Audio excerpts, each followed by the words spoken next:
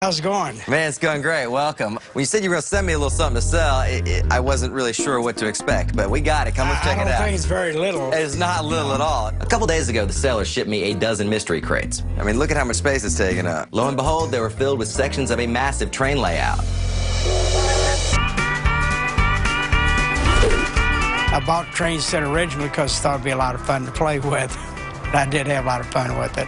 Everybody likes toys, so that was a big toy. What's the story with this thing? Georgia Pacific had this built back in the early 70s. It was built for the Festival of Trees down here in Georgia, and they paid about 75000 for it at that time.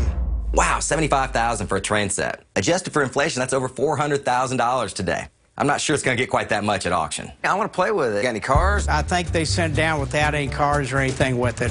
Obviously, train collectors are going to be our most likely bidders. They're already going to have engines and all sorts of rolling stock, so hopefully a trainless layout won't affect the value too much. Let's crawl under here and see if we can't figure out how it works. Yeah, Command Central. Can't wait to get this thing going. I haven't used it for a couple years. I have no idea if it works or not, Paul, to be honest. It's hard enough to market and sell a massive item like this, but if it doesn't even work, forget it. We're gonna need an expert with a set of trains to test this baby out. So what do you want to get for this thing? I'd like to get at least 3500 for it if I could. I'm gonna do my best for you. If I get 35, I want to buy another hot air balloon. I fly hot air balloons for a hobby, and I want to buy another hot air balloon. Oh my goodness, Frank, you're never gonna grow up. You're gonna sell your train set to buy a hot air balloon. I want to hit Frank's price, but I don't know. The train layout looks cool, but in reality, it's dusty, 40 years old, and it might not even work. Frank spent a chunk of change to ship it here, so we'll do our best to drum up some interest, and hopefully we'll get him some good money. Thank you for coming. Thank Thank, you. you. for bringing Yeah. it. Let's get this thing signed up, and we'll get it sold. Hey, Paul. Hey, I'm Scott from Trainmaster Miles. hey, I just Scott. trains US Thanks for for for the coming. layout. I brought in Scott to check out the massive train layout. I'm kind of on the fence about this item, but Scott used to work for the railroad and he owns a model train store, so I'm hoping he can give me a good valuation of this item. Check it out. Yeah. This thing was built by Georgia Pacific, I think late 70s. Other than that, I don't know much about it. Well, judging by the track work, I'd say it is late 70s. Mm-hmm. The buildings, though, those are all custom made. The unique part of the layout is that lumber mill scene. That is much larger than the average buildings that are built in model railroad, and they took a lot of work to build. There's how many hundreds of hours involved in just building this scene. What's a tree go for at the hobby shop? Anywhere from two to five dollars. Really? Yeah, there's at least a thousand trees here, I'd say. It's the whole forest. Let me show you the train I brought. For All right, let's do it. The train seller didn't know if the layout worked, and since it didn't come with any trains, I asked Scott to bring some so we could test it out. I brought you a Southern Railway train. That's the railroad I worked for. And if we can't get the trains to run, this layout's gonna get left to the station. Oh, we're going now. Yep. We put the train on the track and off it went. All aboard. You can get a shock from that, can you? No, No? It's about 12 volts. Put your tongue down on it, you probably get a shock, but uh, you didn't have to do that. Hey, if it's got a motor, I've got to take it for a test drive. Let me at those controls. Let me drive. What we got to do? 1 to 100? I want one that goes about 105. Uh-oh. Uh-oh. Oh, oh, runaway train! All right, I got back. On, I'm coming. I'm backing in. Now just bump it and it'll hook on. Slow her down. All right, stop. Slow down. We're hooked up and everything, but I got the caboose. The on- caboose is on the We're front. all we're all jacked It's up. It's all wrong. But it is working. Oh, it's, it's kind of tugging up that hill too, isn't it? Mm-hmm. Look at there, huh? Any clue as to how high it could potentially go?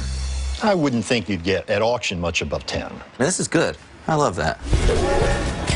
Ten thousand dollars? This old set's worth something after all. That's almost three times as much as Frank wanted. Now I've got to market the heck out of it so I can get some hardcore collectors on track for the auction. I'm gonna sit back here and play. Appreciate it. Thank you. Thank you. Anything. Next on the block was that massive model train layout. It's something any model train aficionado would love. The seller only wanted 3500 but my expert says it could fetch $10,000. If we get if we get anywhere near what I'm looking for, I'm wanting to get another hot air balloon.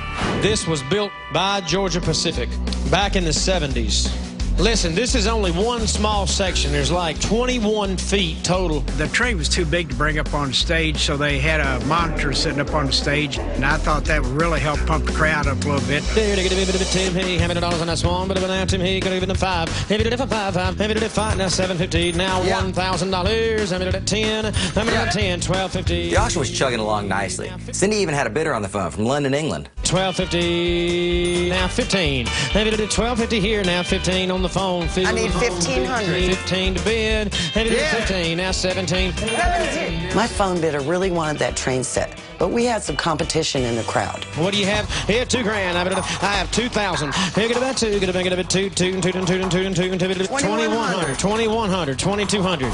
Here, there, 21, 1, 1, 1, 2, 2, 2. After raising up to $2,100, bidding just lost its steam. 21, now you're out. 21, blah, blah, blah, blah, two. Anybody else? I'm I was really hoping it was just a stall and things would pick back up, Here, one, one, one, Sell, one, sell, two. What's it going to be? I man. have but it didn't.